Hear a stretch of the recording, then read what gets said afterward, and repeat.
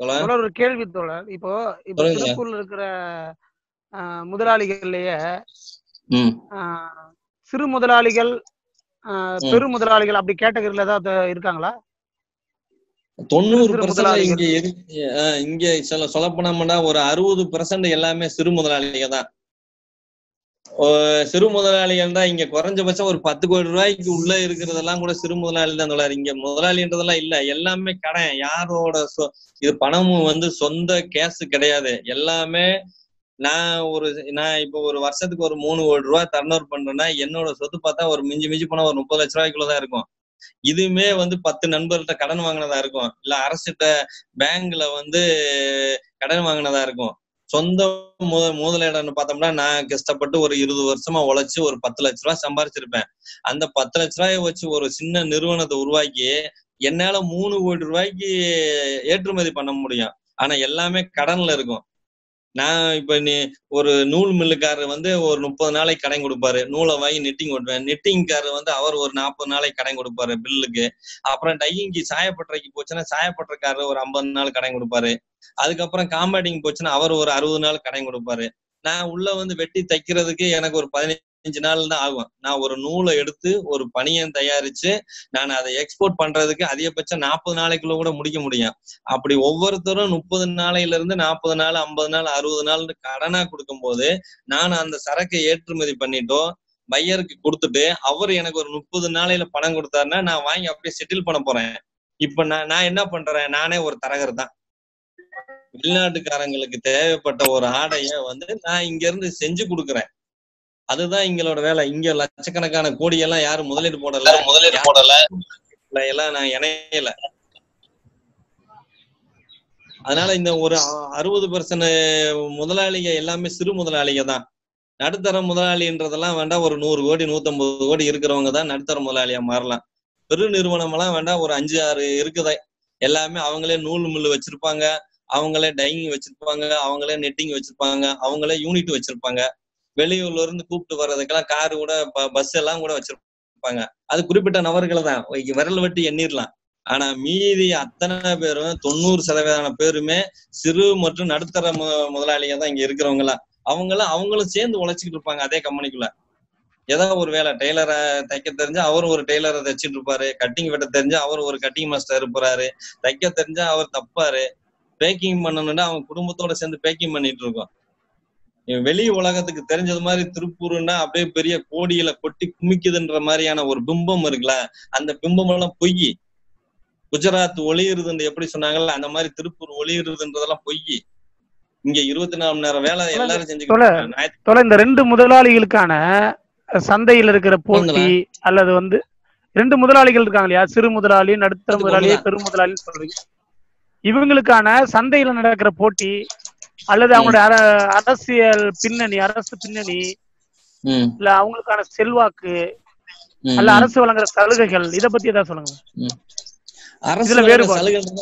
இல்ல அது அப்படி எல்லாம் இங்க வேறுபாடு பாக்குறதுக்கு ஒண்ணு இல்ல தோழர் நீங்க அந்த ஃப்ரீ ட்ரேட் அக்ரிமெண்ட்டுக்கு அப்புறமும் உலக வர்த்தக கழகத்துல போட்ட ஒப்பந்தத்துக்கு அப்புறம் எல்லாரும் வந்து ஏன்னா உலக மக்கள் எல்லாமே தரமான பொருளை விரும்புறாங்க.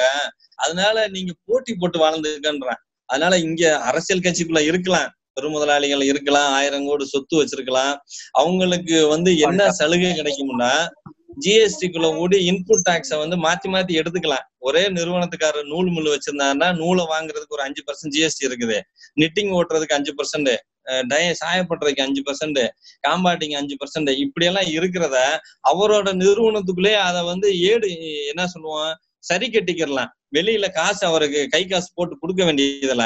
ஆனா என்னைய மாதிரி ஒரு சிறு முதலாளி என்ன பண்ணணும்னா நூல் மில்லுக்காரங்களுக்கு தனியா நான் அஞ்சு பர்சன்ட் ஆக்சஸ் கொடுத்தே ஆகணும். நிட்டிங்காரங்களுக்கு ஜாப் ஒர்க் கொடுக்கும்போது அவங்களுக்கு நான் தனியா கொடுக்கணும். சாயப்பட்டக்காரங்களுக்கு தனியா கொடுக்கணும். வெளியில பிரிண்டிங் அடிக்க கொடுத்தா கொடுக்கணும். இது எல்லாமே நான் கை கையில இருந்து கொடுக்கணும். பெரு நிறுவனங்களுக்கு அப்படி கையில இருந்து கொடுக்க வேண்டிய அவசியம் இல்லை இப்போதைக்கு. ஏன்னா அவங்கள இன்புட் டாக்ஸை கழிச்சு கழிச்சு தான் மீதி கட்ட போறாங்க. ஃபைனலா போடுற பில்லுக்கு தான் ஜிஎஸ்டி ஏன்னா ஒவ்வொரு பர்ச்சேஸுக்கும் நீங்க கழிச்சு கழிச்சு தான் நீங்க கொடுத்துட்டு வர போறீங்க. அப்படி அடிப்படையில வந்து பெருமுதலாளிகளுக்கு இதுல வந்து பெரிய சிக்கல் அப்படி இருக்க பட்சத்துல அந்த பெருமுதலாளி கொஞ்சம் கொஞ்சமா கண்ட்ரோல் எடுத்து முதலாளிகளே இல்லாத அளவுக்கு அவங்களால ஏன் பண்ண முடியல? நீங்க புரியுதா? அதாவது புரியுங்க என்னன்னா இப்ப இந்த மாதிரி நீங்க. கடன் வாங்கிட்டே இருக்கீங்க. கடன் வாங்கி. கொடுக்குறவரு கொஞ்சம் கொஞ்சமா உங்களை கண்ட்ரோல் எடுத்துக்கலாம். ஏன்னா அவர்கிட்ட எல்லா யூனிட்டும் அவர் கண்ட்ரோல்ல இருக்கு. கொஞ்சம் கொஞ்சமா அந்த ரொம்ப பெரும் முதலாளியா வளர்ந்து ஒரு. அம்பானியா ஏன் மாற முடியும்? அது மாறுறதுக்கான சூழ்நிலை இங்க இல்ல அதுல எல்லா மூலப்பொருளுமே இவங்க இங்கேயே கிடைக்க போறது இல்ல தமிழ்நாட்டிலயோ இல்ல திருப்பூர்லயோ எந்த மூலப்பொருளும் கிடைக்கல. இது எல்லாமே வந்து மூலப்பொருள் எல்லாம் வெளியில இருந்து வருதா? நீங்க இங்க விவசாய நிலமே இல்ல. பஞ்சு உற்பத்தியே இங்க இல்ல. வெளியில இருந்து வாங்குறோம்.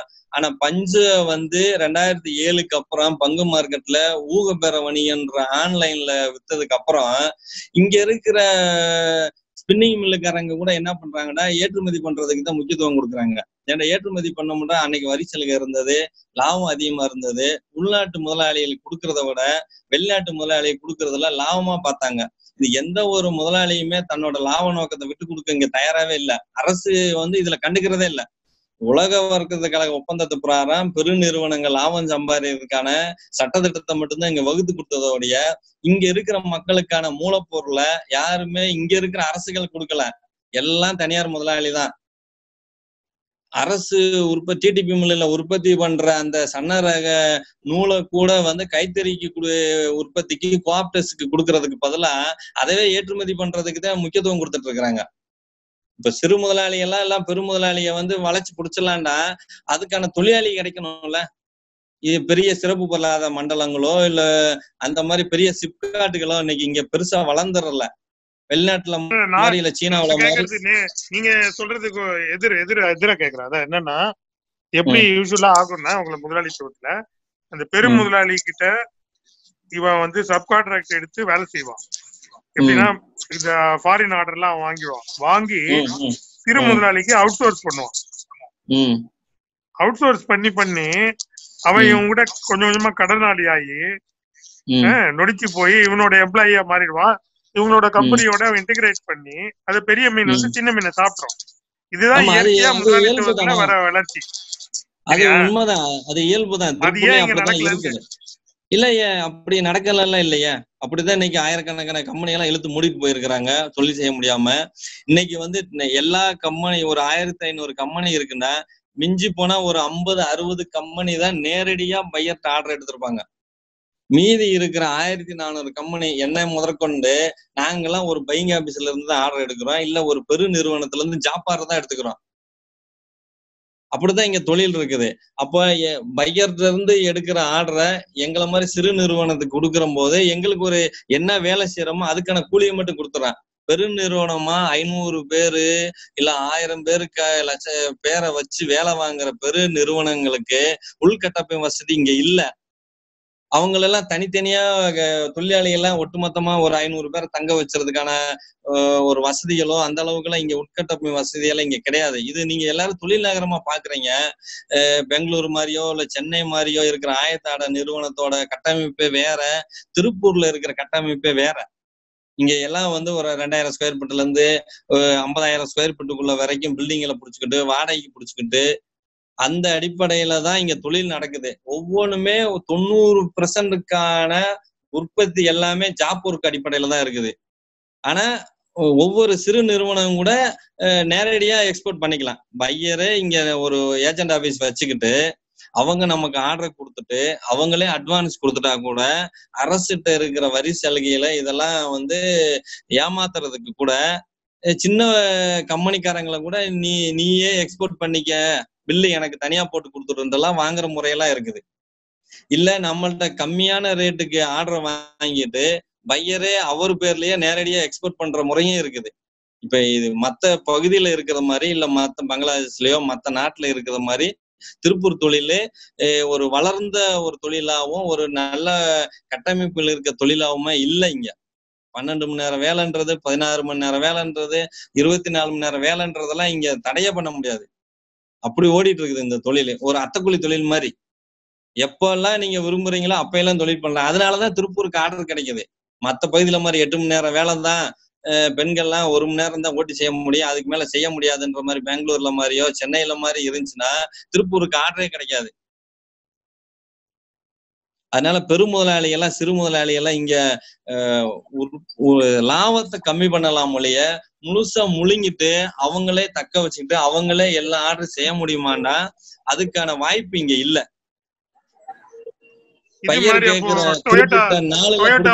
சொல்லலாமா? அதாவது நீங்க இப்போ ஓலா எல்லாம் சொல்றாங்கல்ல நீங்களே ஓனர் ஆயிட்டீங்க அப்படின்ற மாதிரி.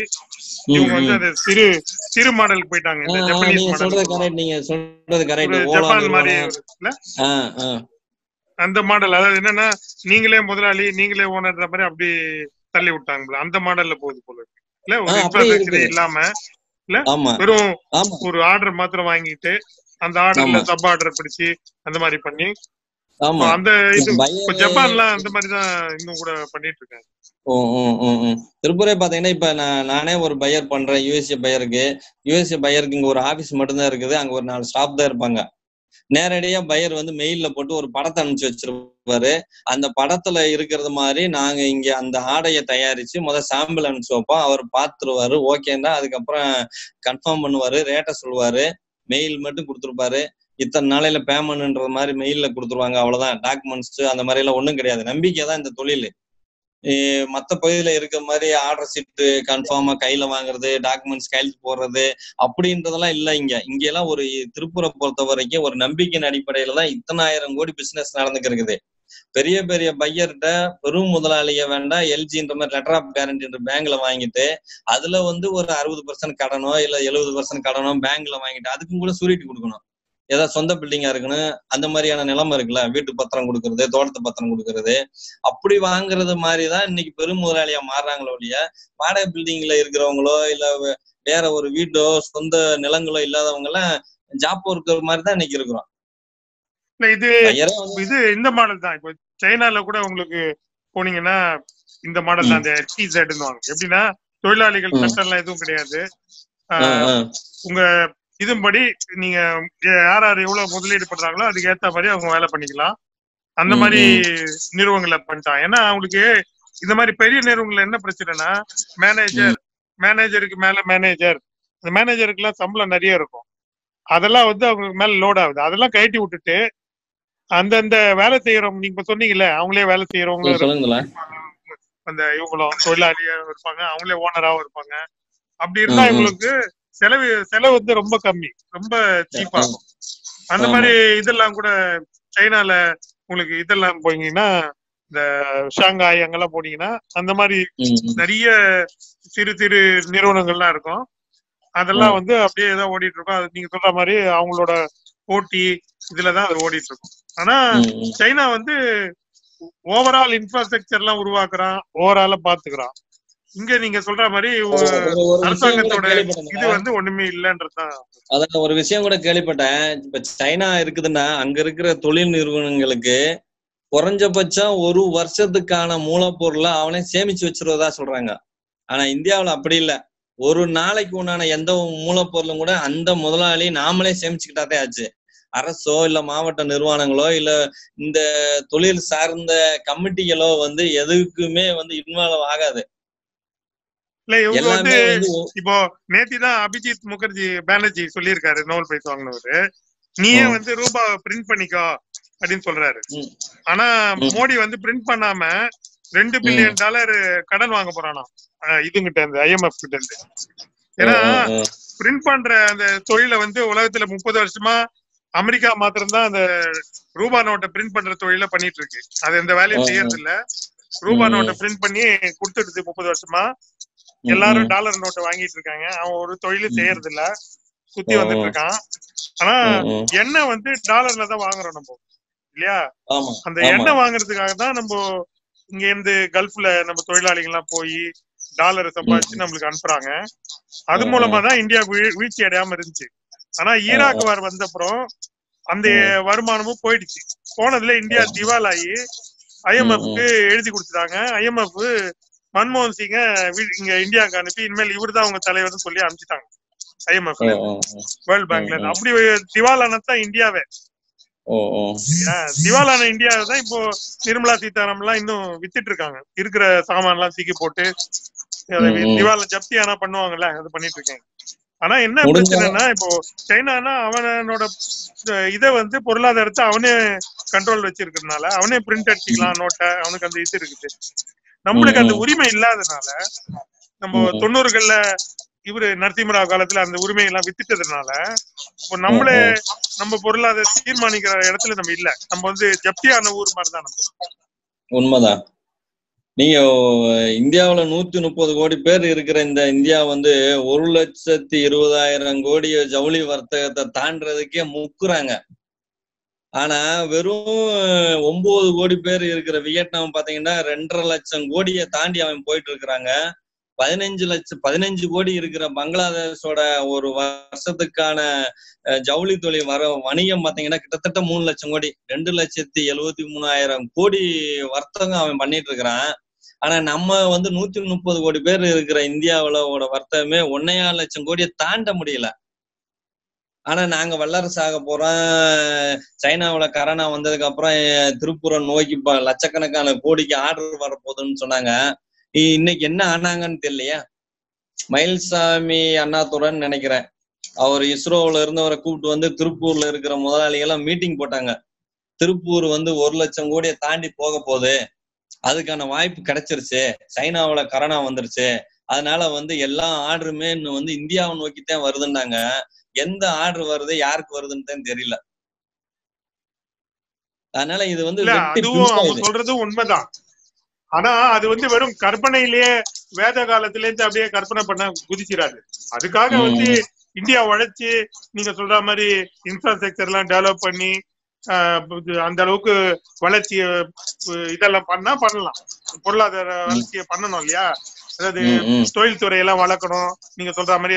இங்க இதுல திருப்பூர்ல இவ்வளவு வருஷம் இவ்வளவு டாலர் வருமானம் பண்ணிய இந்தியா அங்க ஒரு ஃபெசிலிட்டியும் பண்ணி தரல மக்களுக்கு. உங்க தொழில்துறைக்கும் ஒண்ணும் பண்ணி தரல.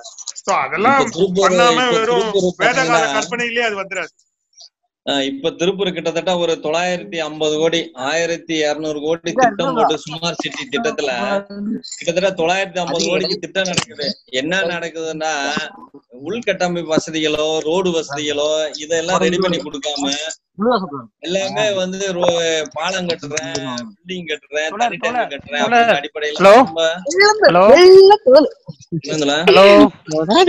ரெண்டு பேரும் ரெண்டு பேரும் விவாதம் போல போயிட்டு இருக்குது அப்படி இல்லாம மத்த தோழர் கேள்வி கேட்டு பதில் சொன்னா நல்லா இருக்கும் நீங்களும். தோழரும்? விவாதிக்கிறது போல போகுது. எனக்கு ஒரு கேள்வி. ஒரத்தப்பாளையம் டேம் ஒரத்தப்பாளையம் டேம் பத்தி நீங்க ஏதாவது உங்க கருத்து என்ன? உரத்தப்பாளையம் அணை வந்து எனக்கு சரியா தெரியல. ஆனா ஆயிரத்தி தொள்ளாயிரத்தி எண்பத்தி நாலோ எண்பதுலயோ வந்து எம்ஜிஆர் காலத்துல வந்து தண்ணி தேக்கி வச்சு விவசாய நிலங்களை வந்து பாலுபடுத்துது விவசாய நிலத்துக்கு போன தண்ணியலும் கிணத்து நீர் பாசனத்தெல்லாம் வந்து சாயப்பட்டறைகளோட வளர்ச்சியில கிணத்து இன்னும் சொல்லப்போனா அது ஒரு அசிங்கமா கூட இருக்கலாம். திருப்பூர் முதலாளிய த- தனக்கு தேவையான சாயப்பட்டறைக்கு தேவையான தண்ணி எல்லாம் கிணத்து போர் போட்டெல்லாம் எடுத்துக்கிட்டு இருந்தாங்க. அந்த போர் மூலியமா தண்ணி வத்தி போனதுக்கு அப்புறம் எல மூன்றாவது குடிநீர் திட்டம் அது இதெல்லாம் கொண்டு வந்து எல்என்டி மஹிந்திரா மஹிந்திரா மூலியமா வந்து திருப்பூருக்கான தண்ணியே இன்னைக்கு தனியாற்ற தான் இருக்குது. அரசு நிலையில திருப்பூர் புதிய திருப்பூர் மேம்பாட்டு கழகன்ற பேர்ல ஜெயலலிதா காலத்துல கூட அதை உருவாக்கி விட்டாங்க.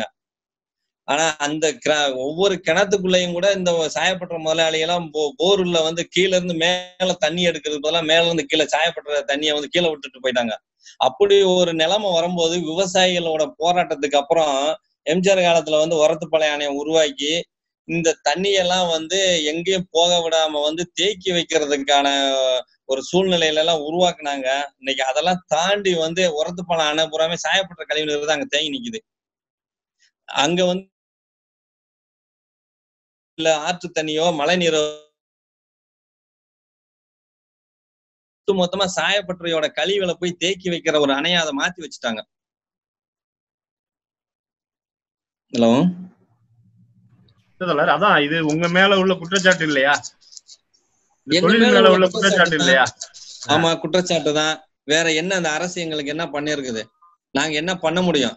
சுத்திகரிப்பு நிலையம் உருவாக்குறதுக்கு இருநூறு கோடி ரூபாய் மானியம் கொடுத்துட்டு கிட்டத்தட்ட ஒரு முப்பது சுத்திகரிப்பு நிலையங்களை வந்து இப்ப திருப்பூர்ல உருவாக்கி இருக்கிறாங்க ஜீரோ டிஸ்சார்ஜ் பண்ணிட்டு. ஆனா தண்ணி யாரு கொடுக்குறா? தண்ணிய வந்து அரசு கொடுக்காம தண்ணியவே வந்து எல்என்டி நிர்வாகத்து நிர்வாகத்தையும் தனியார்கிட்டையும் ஒப்படைச்சிட்டு ஆஹ் காசு போட்டு தான் எல்லா தொழிலும் பண்ணணும்ன்ற ஒரு நிலையை உருவாக்கி விட்டது அரசு தானே? எங்களுக்கு இலவச நீர் கொடுங்க. சாயப்பட்டறைக்கோ இல்ல பிரிண்டிங்கோ இல்ல கம்பெனிகளுக்கோ இல்ல ஒரு கு- ஒரு சாதாரணமா ஒரு ஐம்பது பைசா ஒரு ரூபாய்க்கு ஒரு லிட்டர் தண்ணியை கொடுங்களேன். எல்என்டில இருந்து எட்டாயிரம் ரூபாய்க்கு தண்ணி வாங்குறோம். குடிக்கிற கேன் வாட்டர் எல்லாம் யாரு கேட்டா? மாநகராட்சியிலே நல்ல தண்ணி கொடுங்க.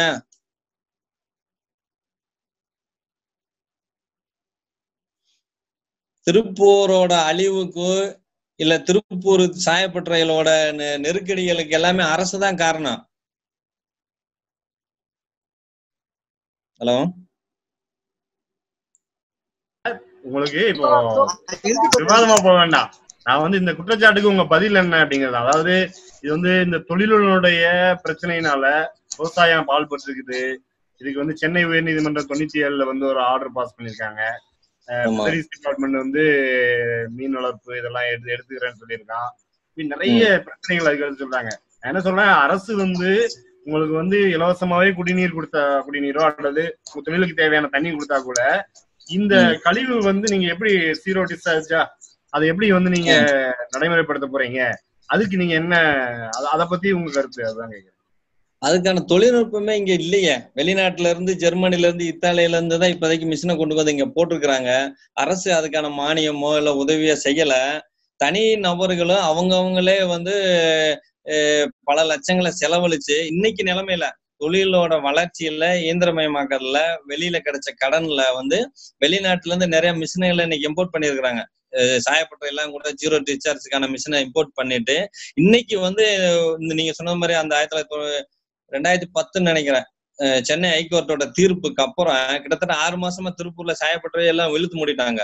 எல்லாம் வந்து க ஈபி கட்டைய புடுங்க எல்லாம் பண்ணதுக்கு அப்புறம் ஒரு நெருக்கடி கொடுத்ததுக்கு அப்புறம் தயாநிதி மாறன்கிட்ட எல்லாம் போய் சந்திச்சு இங்க இருக்கிற எக்ஸ்போர்ட் அசோசியேஷன் நிர்வாகி எல்லாம் போய் சந்திச்சு எங்களுக்கு ஏதாச்சும் உதவி பண்ணுங்கன்னு சொல்லிட்டு அதுக்கப்புறம் தான் வந்து இன்னைக்கு ஒரு கிட்டத்தட்ட ஒரு முப்பதுல இருந்து முப்பத்தஞ்சுன்னு நினைக்கிறேன்.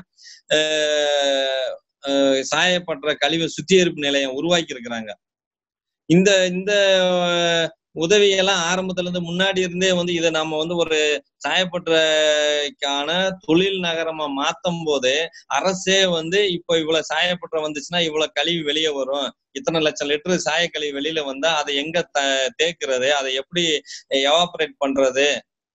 அதுக்கான திட்டத்தை உட்கட்டமைப்பு வசதிகள் எதுவுமே செய்யாம உலக அளவுல நடந்த அந்த குளோபலைசேஷன்ல எல்லாம் திறந்து விட்டுவிட்டு யாருனாலும் தொழில் பண்ணிக்கலாம். இங்க கண்ட்ரோலே கிடையாது. யாருனாலும் தொழில் பண்ணிக்கலாம். நீங்களே நாளைக்கு திருப்பூர் கிளம்பி வந்தா நீங்களும் நாளைக்கு ஒரு தொழில் பண்ணிக்கலாம். அப்படி எந்த ஒரு க- ஒரு வரைமுறையோ இல்ல மாநகராட்சியில இருக்கிற நிர்வாகத்தோட கண்ட்ரோலுக்குள்ளயோ இங்க எந்த தொழிலும் இல்லை. தா- யாரெல்லாம் முடியுமோ யாருக்கெல்லாம் வாய்ப்பு இருக்குதோ அவங்க எல்லாம் இந்த தொழிலை செஞ்சுக்கலாம். அது அதுக்கு எந்த தடையும் இல்ல. ஜிஎஸ்டி வாங்கினா சரி அரசுக்கு வந்து நீங்க டாக்ஸ் கட்டினா சரி. இங்க வே காற்று மாசுபடுதா? நிலம் மாசுபடுதா? தண்ணி மாசுபடுதா? அப்படின்ற சட்ட திட்டத்துக்குள்ள எல்லாம் இங்க யாருமே கண்ட்ரோலா இல்லையே. அடுத்த. நாற்பது நிமிடம். Hello hello hello. பத்து நிமிடத்துல அந்த இணைப்பு துண்டிக்கப்படும். எல்லாரும் மறுபடியும் இணைப்பில் வந்துருங்க. பேசுங்க தோழர். இன்னொரு கேள்வி. தோழர். இன்னொரு. கேள்வி. சுமங்கலி திட்டம் வந்து நீங்க வந்து பெருமுதலாளிகள் எல்லாம் குறை சொல்றீங்க சிறு முதலாளிகள் நடுத்தர முதலாளிகள் வந்தானே சுமங்கலி திட்டத்தை வந்து அமல்படுத்துறாங்க அதுக்கு. வந்து நீங்க வந்து இந்த நாட்டுல உள்ள அஹ், சாதாரண ஏழை பழகளா இருக்கக்கூடிய சின்ன பெண்களை கொண்டு வந்து ஒரு மூணு வருஷம் அப்ரண்டிஸா வச்சு அவங்களுக்கு ஒரு. முப்பதாயிரம் நாற்பதாயிரம் பேசி அது அவங்களுடைய வாழ்க்கையவே மொத்தமா காலி பண்ற வேலை இல்லையா ஏறக்குறைய பெரிய முதலாளி உங்களுக்கு என்ன பண்றாங்களோ அதான் நீங்க மக்களுக்கு பண்றீங்க இல்லையா இல்ல தோழர் அது நீங்க தவறா புரிஞ்சிருக்கிறீங்க. இந்த சுமங்கலி திட்டன்றதெல்லாம் வந்து ஸ்பின்னிங் பஞ்சாலை இருக்கு பாத்தீங்களா? அந்த மாதிரி பஞ்சாலை நிறுவனங்கள்லயும் நூல் மில்லுகளையும் தான் இருக்குது. இந்த மாதிரி பனியன் கம்பெனிக்குள்ள அந்த மாதிரியான வாய்ப்பு இல்ல. இங்க முடிஞ்ச மிஞ்சி மிஞ்சி போனா ஒரு பெரிய நிறுவனம்டா கூட அங்க வந்து ஒரு நூறு பேர்ல இருந்து ஒரு ஐநூறு பேருக்குள்ள வேலை செய்வாங்க. அங்கெல்லாம் வந்து சுமங்கலி திட்டத்துல கிராம பகுதியில வந்து கூப்பிட்டு வந்து வே தங்க வச்சு வேலை செய்யறது மாதிரியான நிறுவனங்கள் இல்ல. எனக்கு தெரிஞ்சே இல்லைன்றதா அர்த்தம். அப்படியே இருந்தாலும் ஒரு சில நிறுவனங்கள் இருக்கலாம். ஆனா பஞ்சாலையில தான் அந்த மாதிரி இருக்கிற ஒழிய இந்த ஆயத்த ஆடை தொழில்ல அந்த மாதிரி சுமங்கலி திட்டமே இல்ல தொடர் இவங்க எல்லாமே வந்து ஷிப்ட் அடிப்படையில தொழிற்சங்கத்தின் அடிப்படையில எல்லாம் இன்னைக்கு தொழிலாளிகள் இல்ல. ஒரு பத்து சதவீதம் தான். பெரு நிறுவனத்துல மட்டும்தான் இஎஸ்ஐ பத்தியோ பிஎஃப் பத்தியோ இல்ல தொழிற்சங்கத்தை பத்தியோ தொழிற்சட்டங்கள் பத்தியோ வந்து இருக்குது ஒழிய தொண்ணூறு சதவீதமான திருப்பூர் பனியன் நிறுவனங்கள்ல இந்த சட்டங்களே இல்ல. எந்த தொழிலாளியும் ஷிப்டுக்கு வேலை செய்யல. எல்லாருமே உதிரி பாட்டாளிகளா மாத்தி விட்டாங்கன்றதா உண்மை. லாபத்தை அதிகமா காமிக்கிறது அதிக வாரத்துக்கு உனக்கு அதிகமான சம்பளம் கிடைக்கும்ன்ற ஆசையை தூண்டி வர்றது இருக்குல்ல. ஒவ்வொரு தொழிலாளியும் தன்னோட வருங்காலத்தை பத்தியான சிந்தனையோ வருங்கால பாதிப்பை பத்தியோ அஹ் சிந்திக்க விடாம அவனை பூராமே நீ வந்து அதிகமான லாபம் சம்பாதிக்கிறதுக்கு என்ன வழி? அதிகமான சம்பளம் நீ எடுக்கிறதுக்கு என்ன வழின்ற மாதிரியான ஆசையை தூண்டி விட்டு எல்லாருமே இன்னைக்கு வந்து எந்த ஒரு தொழிலாளியும் தொண்ணூறு சதவீதமான தொழிலாளிய இஎஸ்ஐபிஎஃப் திட்டத்துல இல்ல. ஷிப்ட்ல வேலை செய்யல. எல்லாமே பீஸ் ரேட் தொழிலாளியா மாறிட்டாங்க. இந்த வாரம் இங்க வேலை இருந்தா செய்வாங்க. வேலை முடிஞ்சா அடுத்த வாரம் வேற கம்பெனிக்கு போயிருவாங்க. அப்புறம் அங்க வேலை முடிஞ்சதா இன்னொரு கம்பெனிக்கு போயிருவாங்க. வெளிநாட்டு வெளி மாநில தொழிலாளிகள் அதிகமா இருக்காங்களா? வந்திருக்காங்களா? இன்னைக்கு உண்மை இன்னைக்கு ஆமா இல்ல இல்ல. உண்மையை சொல்லணும்னா இங்க இருக்கிற திருப்பூர்ல இருக்கிற அத்தனை தொழில் நிறுவனத்திலையும் ஒரு எழுபத்தஞ்சு சதவீதம் வடமாநில தொழிலாளிங்க தான். தமிழ்நாட்டு தொழிலாளிகள்லாம் இல்ல. அவங்க ஓரளவுக்கு பொருளாதார வளர்ச்சிக்கு அப்புறம் எல்லாம் அவங்கவங்க சின்ன சின்ன குறு குறு முதலாளிகளா மாறிக்கிட்டு இருக்கிறாங்க. தன்னிட்ட ஒரு ஐம்பதாயிரம் ரூபாய் பணம் இருந்ததா வீட்டுல ஒரு ரெண்டு மிஷினை போட்டு கணவன் மனைவியா உட்காந்து தைக்க ஆரம்பிச்சுறாங்க. கம்பெனில வந்து தைக்கிறதுக்கு பதிலா வீட்லயே உட்காந்துக்கிறாங்க அதனால இங்க வேலைக்கு ஆள் இல்ல. சொல்ல போனோம்னா திருப்பூர்ல இருக்கிற பணிய நிறுவனங்களுக்கு ஒரு 75% சதவீதமான தொழிலாளிகள் எல்லாமே வட மாநில தொழிலாளிகள் தான் அவங்க தான் இங்க வந்து த- ஒண்ணு அதுவுமே வந்து பெரிய ஒரு சில நிறுவனம் மட்டும்தான் தங்குறதுக்கு இடம் கொடுத்து உணவுக்கெல்லாம் கொடுத்து வந்து தங்க வச்சிருக்கிறாங்களோ ஒழிய மீதி இருக்கிற கம்பெனி எல்லாம் தொழிலாளி எல்லாம் அங்கிருந்தே ஒரு கான்ட்ராக்ட்காரனை புடிச்சுதான் வராங்க. இங்க இருக்கிற ஆளுங்க இங்க ஏற்கனவே வேலைக்கு வந்திருந்த தொழிலாளிகளே வந்து இங்க இருக்கிற நிலைமை தெரிஞ்சுக்கிட்டு ஓப்பனா சொல்றாங்க. அங்க எல்லாம் வந்து நாங்க பணத்தை பாக்குறது இல்ல வேலை செஞ்சோம்னா ஏதாவது உணவுப் பொருள் கிடைக்கும் கோதுமை கிடைக்கும். இப்ப கொத்தடிமை மாதிரிதான். தமிழ்நாடோ கேரளாவோ ஆன வளர்ச்சி இன்னைக்கு பீகாரோ அருணாச்சல் பிரதேசோ அந்த மாதிரியான வளர்ச்சியே இல்ல. அந்த தொழிலாளிய வந்து மாசத்துக்கு அதிகபட்சமா ஒரு மூவாயிரம் ரூபாயில இருந்து நாலாயிரம் ரூபாய் தான் சம்பாதிக்க முடியும்னு சொல்றான். அவன் வேலை செஞ்சு விவசாய வேலையோ இல்ல எந்த ஒரு வேலைக்கு போயோ. ஆனா திருப்பூர்ல வந்து அவன் சாதாரணமா ஒரு தொழிலாளி இருந்தா வாரம் மூவாயிரம் ரூபாய் சம்பாதிக்கலாம். மாசத்துக்கு பன்னெண்டாயிரம் ரூபாய் வந்து பதினஞ்சாயிரம் ரூபாய் சம்பாரிச்சிடலாம் ஒரு சாதாரணமா ஒரு தொழிலாளியா புதுசா வந்தா கூட ஒரு நல்ல வேலை தெரிஞ்சு டெய்லராவோ இல்ல கட்டிங் மாஸ்டராவோ இந்த மாதிரி இருக்கிற தொழிலாளிய ஏன்னா பீஸ் ரேட்டு தான். சம்பளம் எல்லாம் கிடையாது. மாச சம்பளம் எல்லாம் கிடையாது. வாரம் ஆச்சுன்னா சனிக்கிழமை பணம்.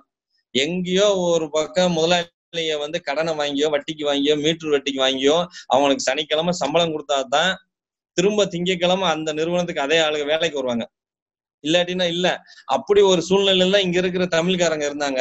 இன்னைக்கு அந்த தொழிலாளி என்ன செய்யறாங்கன்னு தெரியல.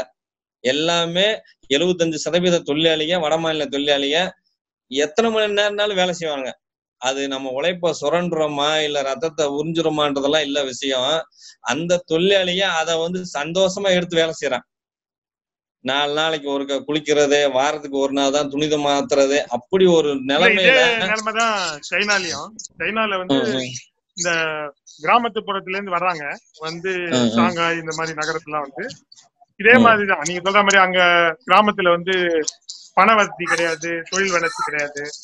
அதனால. எல்லாம் நகரத்தை நோக்கி வர்றாங்க. வந்த உடனே நீங்க சொல்ற மாதிரி இதே மாதிரி ஃபீஸ் ரேட்டுக்கு ஒரு ஒரு குறிப்பிட்ட நாள் ஒரு பத்து நாள் ஒரு மாசம் ரெண்டு மாசம் இருக்கிறாங்க. அப்புறம் யாராவது ஒருத்தர் ஊருக்கு கிளம்பி போய் அவங்க பகுதியில இதே மாதிரி இருக்கிற வேலை ஒரு பத்து பேர் இருபது பேரை கூப்பிட்டு வந்துடுறாரு. கூப்பிட்டு வந்து அவரே வெளியில தங்குறதுக்கு ஏற்பாடு பண்ணிக்கிட்டு வீடுக புடிச்சுக்கிட்டு கம்பெனில இருந்து வீட்டு உரிமையாளருக்கு ஒரு லெட்டர் கொடுத்தா போதும். இவங்க எல்லாம் எங்க கம்பெனில வேலை செய்றாங்க அப்படின்னு சொல்லிட்டு. அந்த அடிப்படையில கூட இங்க கொடுத்துறாங்க ஒவ்வொரு போலீஸ் ஸ்டேஷனுக்கு நாங்க தகவல் கொடுக்குறோம். ஒரு மா- ஆறு மாசத்துக்கு ஒருக்கா வந்து நம்மளோட பகுதியில இருக்கிற போலீஸ் ஸ்டேஷன்ல இருந்தெல்லாம் வந்து எத்தனை எத்தனை வடமாநில தொழிலாளி வேலை செய்றாங்க எத்தனை பேருக்கு வந்து ஆதார் கார்டு இருக்குது அவ இல்ல வேற என்ன குரூப் வச்சிருக்கிறீங்க இப்படியான லிஸ்ட் எல்லாம் கூட வாங்கிக்கிறாங்க. நம்ம அந்த மாதிரி வந்து கம்பெனில இருந்து இவங்க தங்குறதுக்கு அனுமதி கொடுங்க நான் எங்க கம்பெனில தான் வேலை செய்றாங்கன்னு நம்ம சொல்லிட்டோம்னா லோக்கல்ல இருக்கிற கட்டட உரிமையாளர் கூட வீடு கொடுத்துறாங்க. என்ன இங்க இருக்கிற தமிழ் அஹ், தொழிலாளி தென் மாவட்டத்துக்காரங்களோ இல்ல கிழக்கு மாவட்டத்துக்காரங்களோ வடக்கு மாவட்டத்துக்காரங்க வந்து திருப்பூர்ல தங்கினா இங்க இருக்கிற தமிழ்காரங்கன்னா வாடகை முதற்கொண்டு எல்லாம் வந்து என்ன எங்க ஊர்ல எல்லாம் இவ்வளவுதான வாடகை நீ ஏன் இவ்வளவு வாடகை கேட்கறன்ற மாதிரி பேரம் பேசுறாங்க. ஆனா வடமாநில தொழிலாளி தனக்கு இருக்க நிர்பந்தத்தினால ஆயிரம் ரூபாய்க்கு கொடுக்க வேண்டிய வாடகைக்கான வீடெல்லாம் அவங்க வந்தாங்கன்னா மூவாயிரம் ரூபாய் கிடைக்குது. அப்ப இங்க இருக்கிற கட்டட முதலாளிகளும் வீட்டு உரிமையாளர்கள்லாம் வடமாநில தொழிலாளிகளுக்கு ஈஸியா வீடை கொடுத்துறாங்க. ஏன்னா அவங்களுக்கு அதிகமான வாடகை கிடைக்குதுன்ற அடிப்படையில.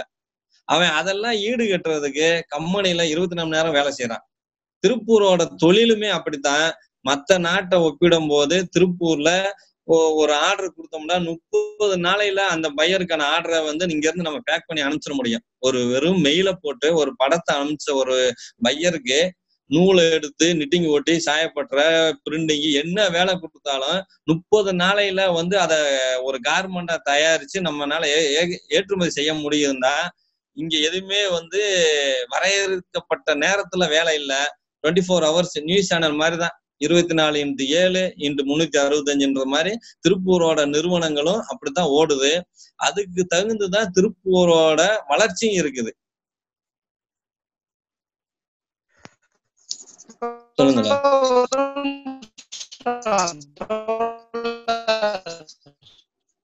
ஹலோ. கேள்வி. ஹலோ. திருப்பூர்ல தொழிலாளர்கள் மீது வந்து பெரிய சுரண்டலே இல்லைன்னு சொல்றீங்க. சுரண்டலே இல்லைன்னு சொல்லல. இங்கதான் அதிகமான சுரண்டல் இருக்குன்னே ஒத்துக்கிறேன். ஹலோ. கால விழுதுங்களா சொல்லுங்களா கால விழுதுங்களா ஹலோ. ஹலோ. ஹலோ. நீங்க சொன்னீங்களா? இல்ல வா ஷிஃப்ட் கணக்குன்றீங்க பன்னெண்டு வேலை. ஷிஃப்ட் கணக்குன்னா அவங்க எத்தனை அவர் வேலை பாக்குறாங்க எட்டு அவருக்கு என்ன இல்ல. சம்பளங்கிறதெல்லாம் பாத்தீங்கன்னா ரொம்ப பெரிய சுரண்டல் தானே. கேட்கலீங்களா நான் பேசுறது? ஆஹ் இல்ல சரியா கேட்கல. இருந்தாலும் புரிஞ்சுக்கிறேன். நீங்க என்ன கேட்க வரீங்கன்னாக்கா இங்க பன்னெண்டு மணி நேரம் வேலை இருபது மணி நேரம் வேலைன்ற அடிப்படையில தொழிலாளிகளை வந்து நீங்க எல்லாம் சுரண்டுறீங்கன்றதான் கேட்க வரீங்க. உண்மைதான். ஆனா இங்க பன்னெண்டு மணி நேரம் வேலையும் பதினெட்டு மணி நேரம் வேலை ஒரு நிமிஷம் ஒரு நிமிஷம். ம். சம்பளம் டிஃபரெண்ட் கேக்குறாரு. எட்டு மணி நேரம் வேலை செய்தா ஒரு சம்பளம் இருக்குது. மற்றதுலாம் ஓவர் டைமுக்கு ரெண்டு டபுள் மடங்கு சம்பளம் அப்படின்லாம் இருக்குது இல்ல, இல்ல அந்த மாதிரி இல்ல. இப்ப தோழர் நான் இப்ப பே- நான் இப்ப என் குரல் கேக்குதான்னு சொல்லுங்க.